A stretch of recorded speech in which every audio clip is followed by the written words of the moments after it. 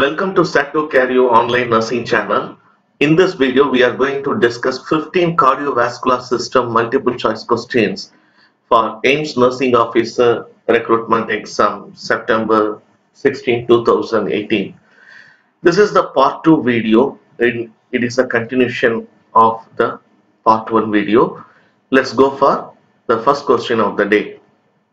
Cough is a side effect of which antihypertensive medication? Option A calcium channel blockers, option B beta blockers, option C ACE inhibitors, option D diuretics. Cough is a side effect of which antihypertensive medication? The right answer is ACE inhibitors, angiotensin converting enzyme inhibitors.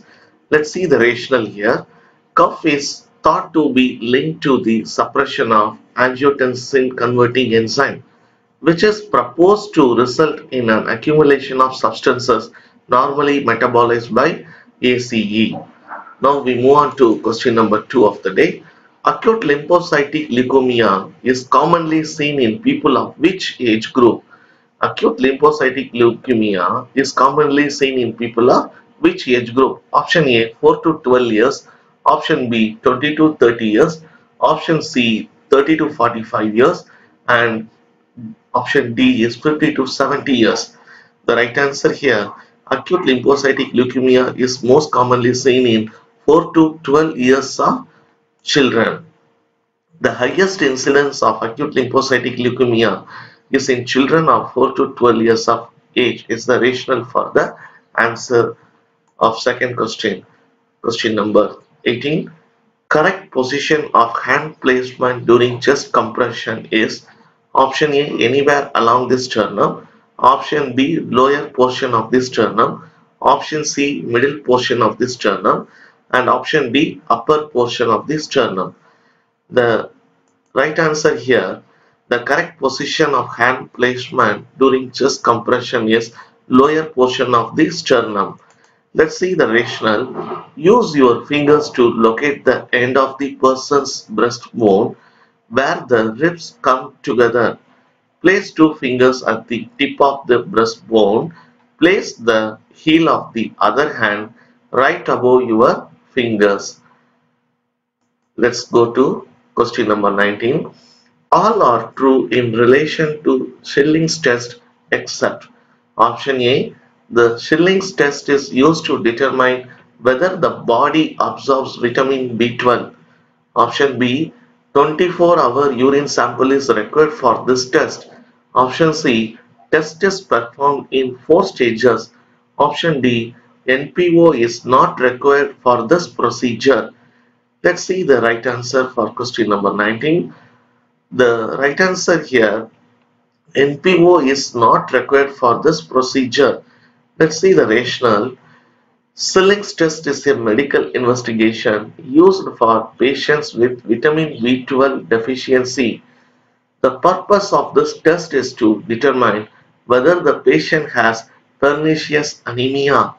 The test is performed in four stages and patient preparation like NPO is required for this procedure. That's why this is the right answer. Next question. The nurse is providing CPR after cardiac cardiopulmonary arrest. Which of the following initial assessment finding indicates that patient has been successfully resuscitated? Option A positive Babinski reflex. Option B response to pain stimuli. Option C palpable carotid pulse. Option D pupils equal and reacts to light. Let's see the right answer here in patient who is who gets CPR, the first the initial assessment finding indicates that the patient is having a palpable carotid pulse. The rationale here, presence of a palpable carotid pulse indicates that the return of cardiac function which together with the return of breathing is the primary goal of CPR. Question number 21. The nurse is providing discharge teaching to an adult patient who had a permanent artificial pacemaker implanted. Which of the following information given by the nurse shows her knowledge is inadequate? regarding artificial pacemaker. The option A, the client should in, the client should check the pulse rate once a day in the morning upon awakening. Option B, the client may be allowed to use electrical appliances. Option C, the client should have regular follow-up care.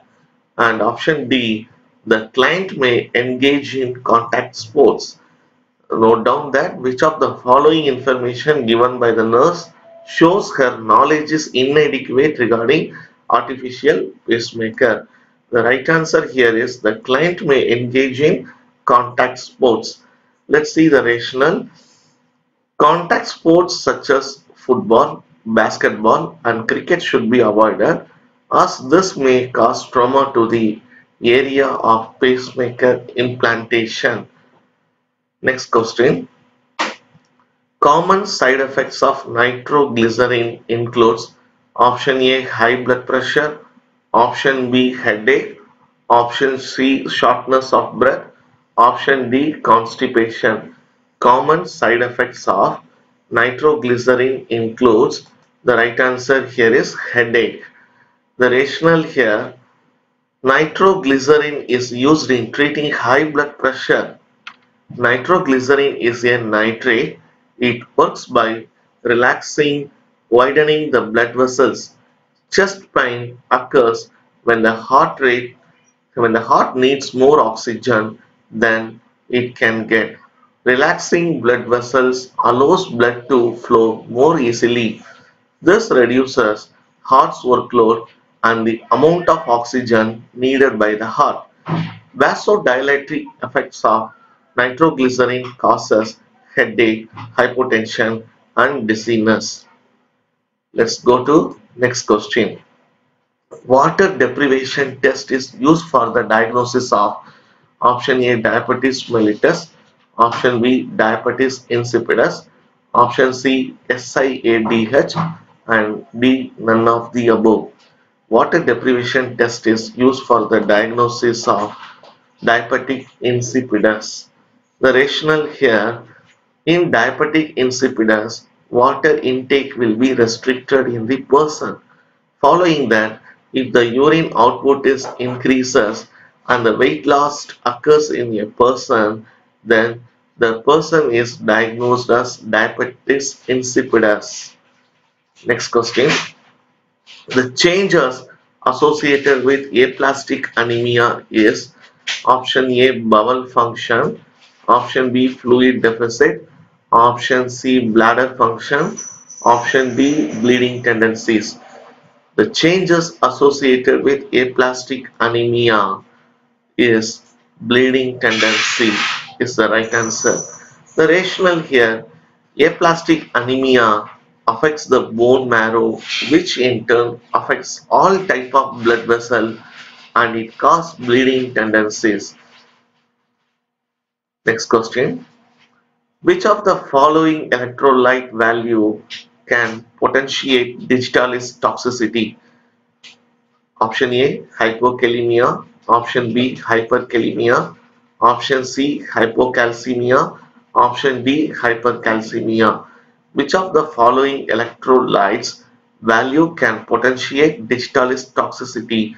The right answer is hyperkalemia increase potassium level. Rationale the right answer is hyperkalemia and the rationale hyperkalemia controls ventricular response to atrial fibrillation and a derived form and it is derived from foxglove. Digoxin is the most commonly available cardiac glycoside and it is a positive inotropic agent. It inhibits sodium potassium pump.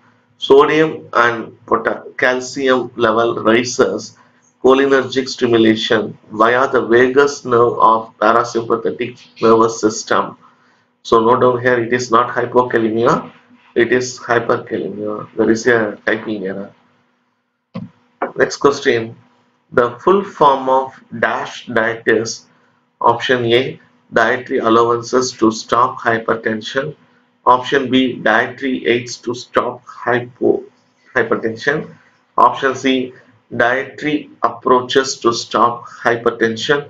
Option b dietary assistance to stop hypertension.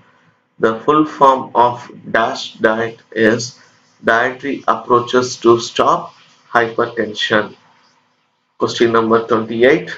The rationale for question number 27 answer dietary approaches to stop hypertension. Diet modification is effective treatment to reduce blood pressure especially in stage 1 hypertension. Now move on to question number 28. Normal therapeutic range of serum digoxin is 0.2 to 0.5 nanogram per ml, 0.5 to 2.2 nanogram per ml, 2.2 to 3 nanogram per ml, and option D is 3 to 4 nanogram per ml. Normal therapeutic range of serum digoxin is 0.5 to 2.2 nanogram per ml. Normal therapeutic level of digoxin is 0.5 to 2.2 nanogram per ml. 29th question. Heart sound corresponds to heart sounds corresponds to option A closure of the aortic and pulmonic valve. Option B closure of the aortic valve. Option C closure of the mitral and tricuspid valve. Option D closure of the mitral valve. The right answer here heart sounds corresponds to the closure of the aortic and pulmonic valve. The rationale here S2 or second heart sound is produced by the closure of the semilunar valve namely the pulmonic and aortic valve. The last question of the day most sensitive cardiac maker is option A creatine kinase creatinine kinase option B lactate dehydrogenase option C crackles option D wheezing the most sensitive cardiac maker is troponin. The right answer is troponin. The rationale here troponin is the most sensitive and specific cardiac marker. That's the end of today's question. Thanks for watching this video you also can join in our whatsapp group for AIIMS learners AIIMS aspirants. To join you please send request to this number 905072480 we will add you in this group. Once again i thank you all for watching this video. Please comment about this video and like this video. And those who have not yet subscribed this channel please subscribe now to Sat 2 Care U online nursing channel thank you all again. Meet you soon with another 15 questions from endocrine system. Thank you. Bye